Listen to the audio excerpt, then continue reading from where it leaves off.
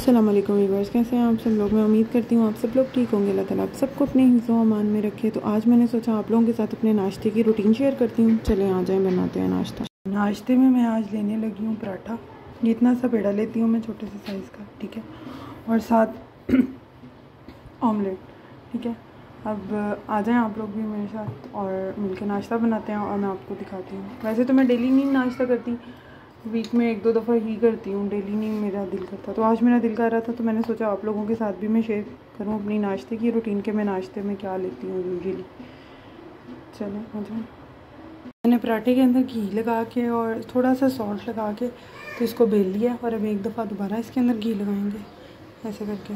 और इसको दोबारा से एक दफ़ा बेलेंगे। इसे बड़ा क्रिस्पी सा पराठा बनता है, मुझे बड़ा पसंद है ऐसा ना। तो मैं कभी कभी अगर नाश्ता अपनी मर्ज़ी का बनाऊँ, जिस दिन हस्बैंड ना घर हो तो उस दिन मैं फिर इस तरह से बनाती हूँ। आप भी ज़रूर ट्राई कीजिएगा और आप भी अपनी नाश्ते की रूटीन मेरे साथ शेयर कीजिएगा।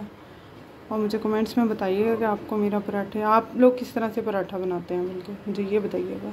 रेडी हो गया? अब ऑयल के साथ, जो है ना यहाँ घी के साथ तवे को ग्रीस करेंगे और मैं पराठा इसके ऊपर डाल डालूँगी जी मैंने डाल दिया पराठा। अब इसके ऊपर भी घी लगा देंगे। मैं देसी घी इस्तेमाल कर रही हूँ, आप चाहें ऑयल मक्खन, जो भी आप इस्तेमाल करते हो, आप वो इस्तेमाल कर लो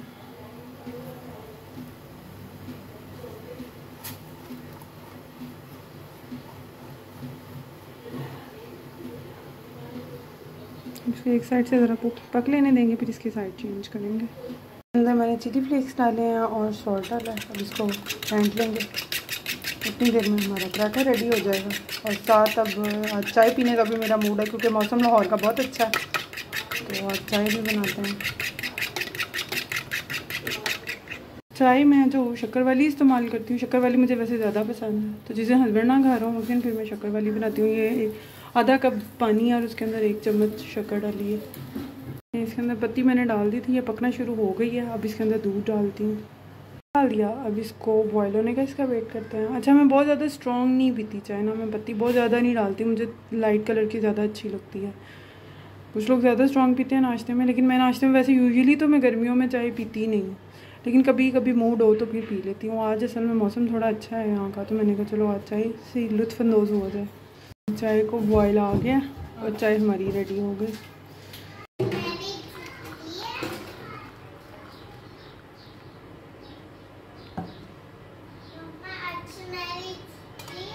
हम्म, ये योगर्ट है मुझे योगर्ट भी मैं नाश्ते में ज़रूर लेती हूँ थोड़ा सा।